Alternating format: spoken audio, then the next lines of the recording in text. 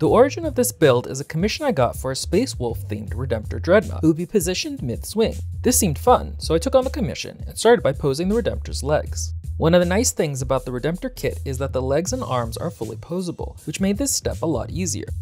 To get the right pose, I looked at various lunging poses and played around with what the Redemptor legs could look like until I had something I was happy with for now, though I later went in and optimized it to better fit with the pose of the arms once those were in place.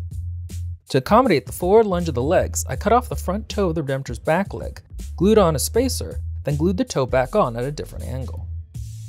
Dreadnoughts on the whole are stubbly built, with short, thick limbs, which was a problem for this build, as the original articulated arm the Redemptor comes with simply wasn't going to be long enough for a full-on swinging motion.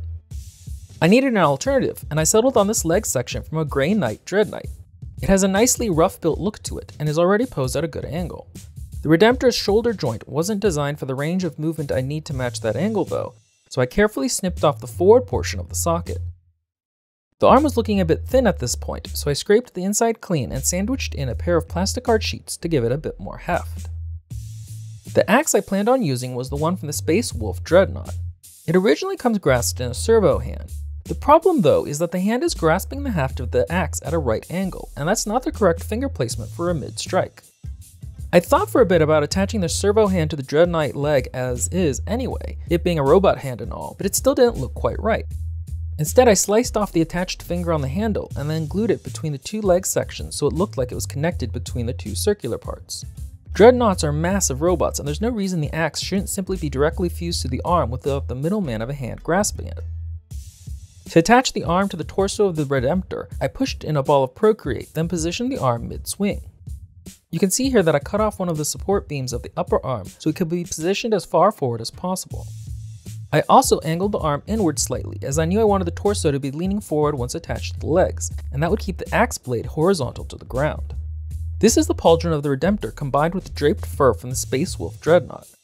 I used more Procreate to attach it over the shoulder, but would later switch it to the other shoulder because it fit the flow of movement better there and gave a stronger sense of lunging forward. For a head, I picked one of the cyborg wolf skulls from the original Space Wolf Dreadnought, which make up its pair of frost claws. I felt like this made for a more interesting look than the original simple slit the Redemptor features, while still also getting across that there's a marine entombed inside the dreadnought peering through the wolf's cybernetic eyes. Speaking of, I'd originally picked this one because of the two claws it has a more prominent cyber eye, but once in place it looked a little silly, so I later switched it for the non-cyber eye one, which is a little more restrained and sinister looking. One of the most important parts of a great miniature is its pose, and part of creating a great pose is to create a sense of movement. If I really wanted to sell the lunging pose of the Dreadnought, I needed to nail that or he would just look kind of silly with his one outstretched arm. To help reinforce the lunge, I was careful to attach the Dreadnought's onslaught cannon in a position where it looked like it's trailing behind him slightly, in the way the off arm would in a real lunge. The next step was to start making the Redemptor look specifically like a Space Wolf Dreadnought, and not some basic bitch Astartes Dreadnought. To achieve that, I harvested the front panel from the original Dreadnought, which had all kinds of wolfy regalia on them.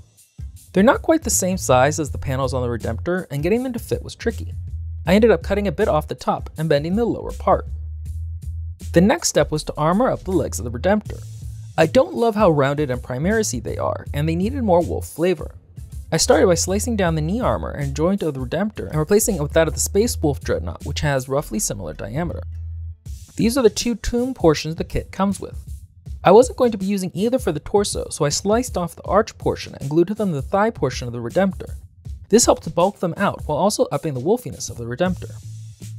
One of the coolest portions of the original Space Wolf Dreadnought is this massive shield. The original is actually holding it in his left hand, but that didn't really make sense for this Dreadnought with his onslaught cannon, but I still wanted to incorporate it somehow. What I ended up on was attaching it to the back of the Redemptor as though it had either been slung there until needed, or simply a revered relic of the chapter that the Dreadnought carried as a kind of ambulatory shrine. On the Dreadnought's right side, I decided to beef up the Onslaught cannon by attaching the original Wolf Dreadnought's own Gatling gun beneath it. Is this needed? Not really, but it looks hella cool. I also added this pelt to hang from the cannon, which along with the pauldron furs and the lines of runes gave a nice sense of movement, the pelt streaming behind the Dreadnought as he lunges forward. This is a bit from the Necromunda Corpse Grinder kit. For Space Vikings, Space Wolf iconography has a criminal lack of skulls, so this bit was kind of perfect to give the Dreadnought a touch more of a grim aspect. To try and broaden Space Wolf iconography even more from its single-minded wolfiness into a more broad Viking aesthetic, I attached this horn from a Fyreslayer kit to his thigh, and used green stuff to sculpt straps around it. I'd taken off the Redemptor's legs to make this process easier, but also so I could modify the proportions of the Redemptor. They've always kind of annoyed me and seemed too squat, so I attached plastic card to both the hips and torso. This would both raise the torso from the legs and also allow it to be pushed forward. I also removed the coffin portion and cut the armor plate down a little so the skull was more visible. Before gluing torso and legs back together, I took the opportunity to replace the original nose bolters with heavier ones from a Leviathan Dreadnought. They look less smooth and futuristic, which seemed right for the Space Wolves. To continue that less sophisticated look, I popped off the Redemptor's knee guards, carved down the original knee guards quite a bit, and glued a pair of pistons over the knee. I really liked how this looked for a couple reasons. It makes the Dreadnought grittier, the legs thicker, and also adds detail, which is generally a good thing for any model. At this point, it was time to finally glue the axe in place. Honestly, it's a little small for the Redemptor now, more hatchet than battle axe, but it was the best option I had, and I thought could still work if integrated into the Redemptor arm so it just looked like the bladed end of the limb. Before gluing though, I wanted to add a little spice to the model. This is a Tyranid Hormigaunt. Ever since the commissioner had asked the model to be posed mid-swing, I'd been playing around with the idea of having the Redemptor's axe splitting it in two.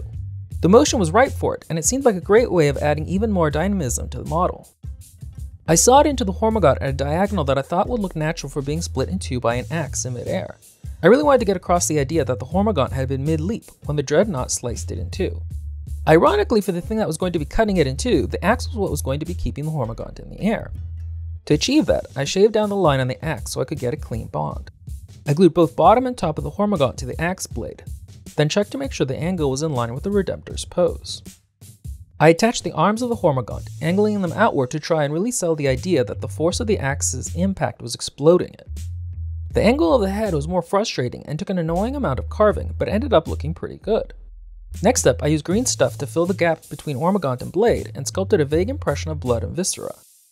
I should have done this before attaching the Hormigaunt, but I used a candle to repose the tail to look like it was trailing the force of impact.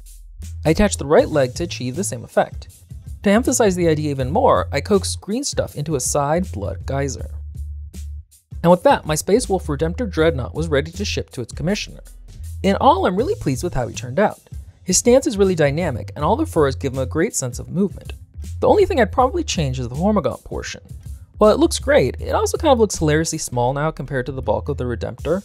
If this wasn't a commission, I probably would have gone full diorama and attached the Hormigaunt to the head of a much larger Tyranid, like a Swarmlord.